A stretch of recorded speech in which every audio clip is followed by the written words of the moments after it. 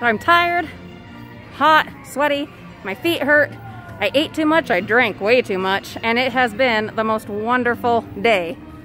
Do you mind being in it? No?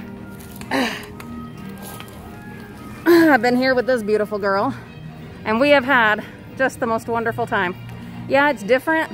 You gotta wear your masks all day.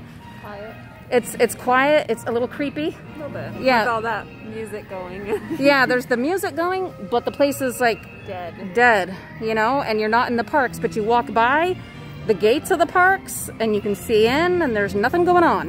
It was weird. It's weird. Um, But everyone's still like super friendly. oh, the cast members. Magical. Oh my goodness, they have been so wonderful. You can tell they are just happy to be here, job. to have a job, absolutely, but also to be here at Disneyland.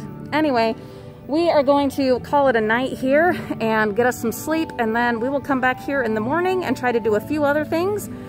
And then it's time to come home. It's just a quick hop, some time with my beautiful baby sister, and a touch of magic.